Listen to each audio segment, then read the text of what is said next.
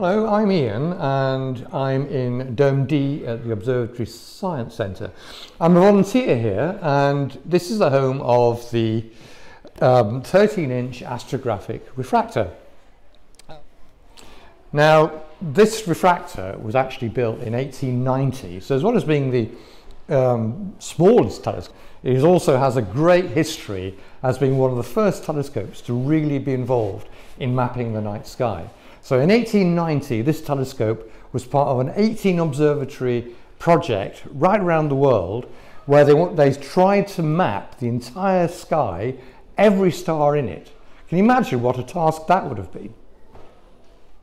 So over 13 years, this telescope alone chart charted the precise positions of 179,000 stars.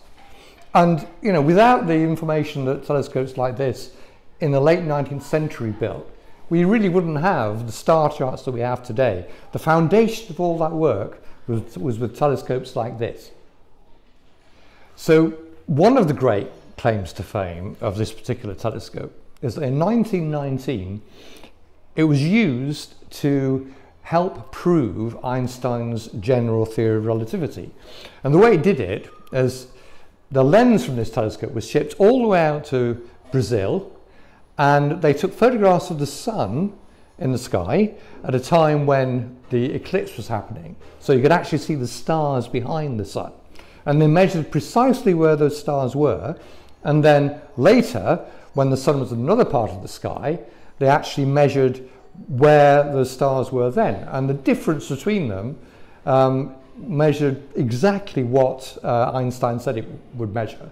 So that was the first proof of that theory of relativity, which said that um, gravity bends light.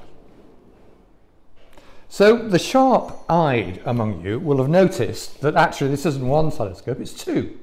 So there's a 10-inch refractor, which just means a, lens telescope on the top, and underneath we have the 13-inch refractor that the dome and the telescope's actually named after.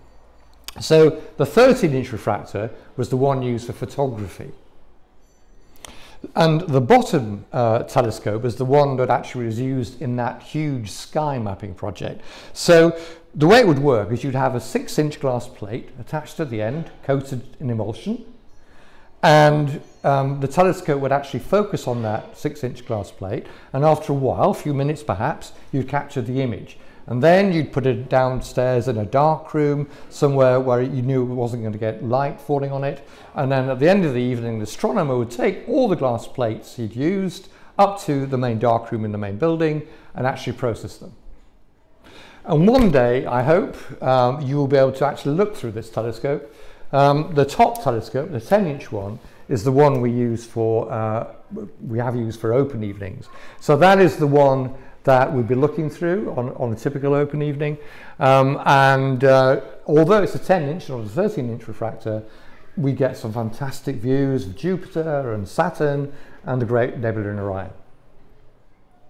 So if you look at the telescope, um, both telescopes are the same length. So they both have a, um, a focal length of 11 feet.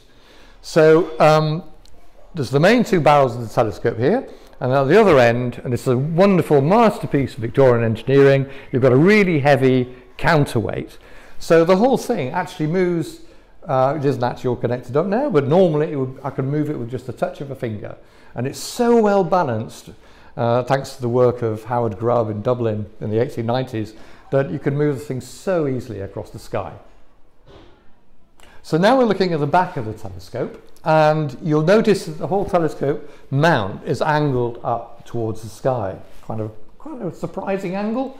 And that's because it's what we call an equatorial mount. And all the telescopes at the uh, Observatory Science Centre are equatorially mounted telescopes. And it just means that basically it's angled towards the pole star. So it's uh, parallel to the axis of the Earth. And that means that you can actually move the telescope from one side of the sky to another in just one axis. So you don't have to move it up and down, you just move it from side to side. And that's great because it means that if you've got Jupiter, for example, in the eyepiece, all you have to do is let the telescope track and it'll track Jupiter right across the sky without, in theory, you having to do anything at all. So you remember I said earlier that um, telescope, this telescope was used to take lots of photograph on glass, photographs on glass plates. Well, at the end of the evening, of course, the astronomer's job was to take all those plates up and get them processed in the main building. Now, you may have noticed if you've been here that it's a very strange layout, this particular site.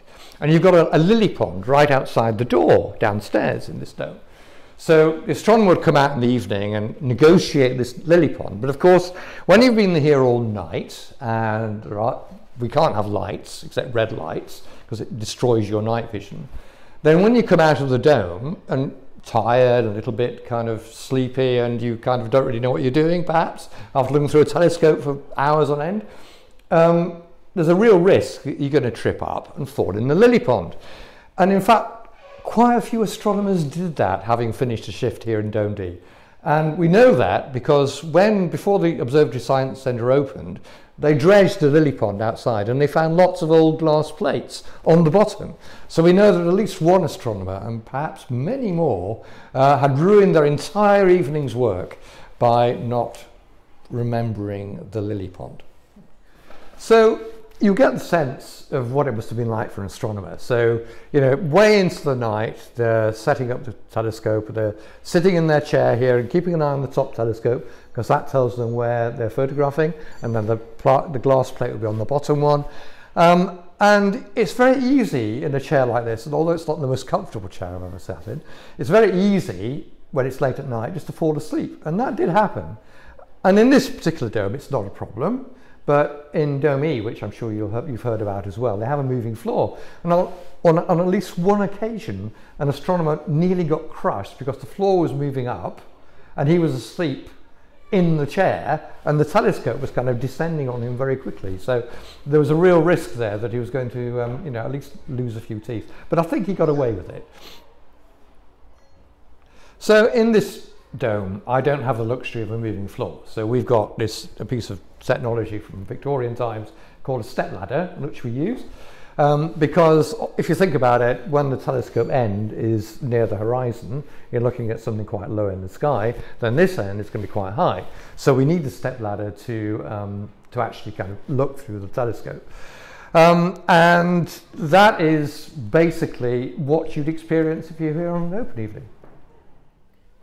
So I hope you've enjoyed this whistle-stop tour of Dome D and the 13-inch refractor here.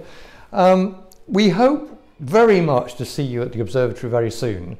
Uh, remember that there really isn't anywhere else in the UK that you can get three historic telescopes like this that were used by Britain's foremost observatory, the Royal Greenwich Observatory, um, and that are still in working order.